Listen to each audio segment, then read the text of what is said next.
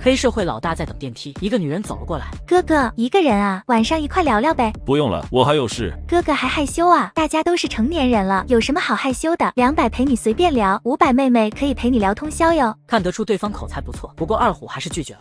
到了晚上，门铃响起，谁啊？哥哥，是我，我来借个厕所。一开门，女人主动进了来。哥哥，等我很久了吧？这时门被踹开，一个混混带着两个大汉走了进来。小子，你算什么东西？敢碰我的女人？二虎愣了一下，你是想私了呢，还是我直接报警？魔鬼跳是吧？不过你们这也太快了，他进来都还没一分钟，我可什么都还没做，你们要失望了。我怕晚来一秒，你小子就得逞了。还没开始是吧？那简单，来，把他的衣服全给我卸了。就他们两个人，可能没办法卸我的衣服。那就加上我，别说我们欺负你，我们长岭人从小就得一打三，你要多学着点。这时孙超带着几个人走了过来，看到身后的八个大汉，混混愣住了。不好意思，我今天是打算跟他们商量事情，看我没下去，他们就上来了。现在我们三对一，你们厂里人从小就得一对三，现在应该不会吃亏吧？小子，有种报上名来！房间门被反锁，片刻后，几人都倒在地上。赶紧滚！林北还要忙，没空陪你们玩。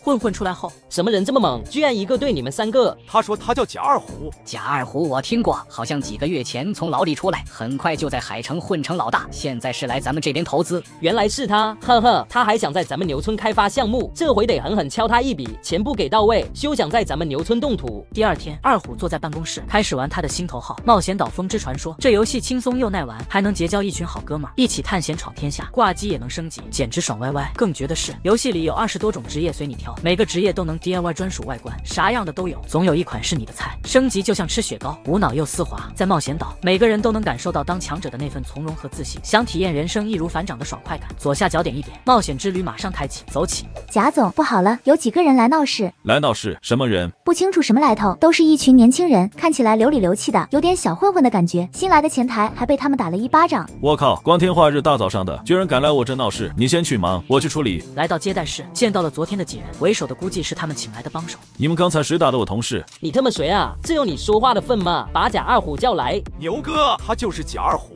牛小伟没想到二虎会这么年轻哟，原来你就是贾二虎啊！我他妈还以为是什么三头六臂的神仙，原来也就这鸟样子。说完一脸不屑。刚才是你打的我同事吧？是我打的，怎么了？贾二虎都说现在你是海城声势最响的老大，告诉你，那是你没遇上我牛小伟，遇上我牛小伟，你他妈什么都不是，你一个小混混能混到现在这一步，我牛小伟也能。所以呢？所以赶紧跪下给我兄弟道个歉，另外把医药费付一下。我看你也才二十出头吧，毛都没长齐就出来装杯。你他妈给我再说一遍！二虎抓住牛小伟的手，一用力，牛小伟一声惨叫。姓贾的，你想死是不是？放开我们兄弟！怎么，昨晚教训的不够，还想再来一次是不是？混混有些发虚，看了眼身后的兄弟，瞅啥呢？动手啊！里面什么情况？李小燕把事情来去说了一遍。这群屌毛还敢跟贾总动手，老子现在就进去崩了他们！然而门早就被二虎反锁。小兄弟，你想混起来没问题，不过我贾二虎能站在今日这个位置，靠的可不是嘴，就你们这点本事，我劝你们还是回家吃奶去吧。小子，你给我记住！不好意思，我这个人记性差，也没带笔记本，可能记不住。你他妈的！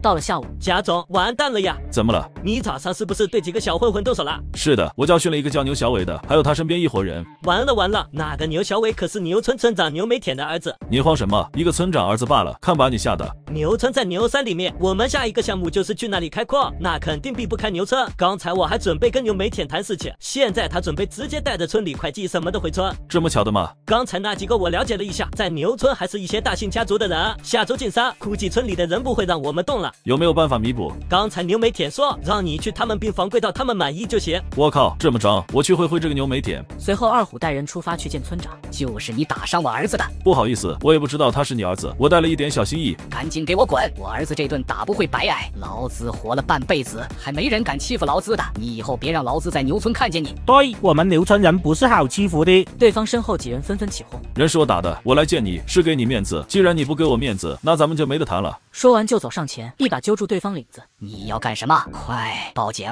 我看谁敢！二虎这边几个壮汉也纷纷围了上来。反了你！告诉你，老子已经八十岁了，你要是敢动我一下，我就躺地上。倚老卖老给我装是吧？仗着自己八十了，没人敢动你，跟你那屌毛儿子一样，愣头青，装什么呢？牛梅田几人看到二虎掏出的家伙也是愣住了，他没想到和平年代会出现这东西。你听清楚了，牛山，我绝对会进。你要真敢来找我的麻烦，随时欢迎。不过我劝你想清楚了，你们牛村的人不好欺负，我贾二虎也一样。牛梅田吓得不敢吭声。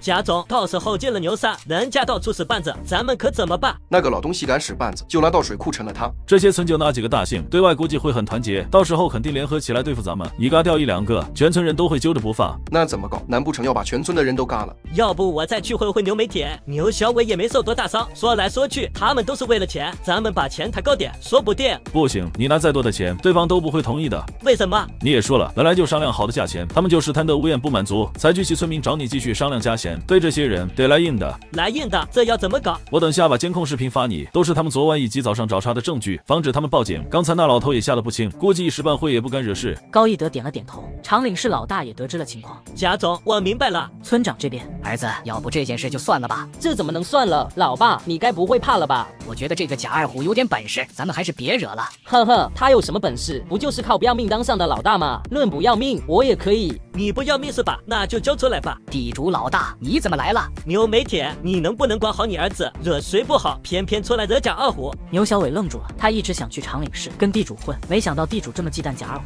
地主老大，你这么怕这个贾二虎干嘛？不就是能打了一点吗？我再练几个月也可以。你特么给我闭嘴！长林是一把手，吕忠良都得听他的。他几个月时间就从海城黑道里杀出来，你个毛头小子懂个啥？到时候惹急了，神算你给你安排了，你也没招。地主老大，我们知道错了，我会好好劝劝小伟的。随后地主又是一顿说，村长连连点头。